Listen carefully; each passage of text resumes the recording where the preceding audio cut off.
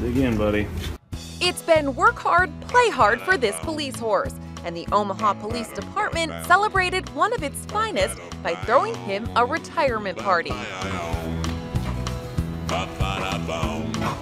18 year old Blaze dined on carrots and apples after serving three years as a mounted police horse.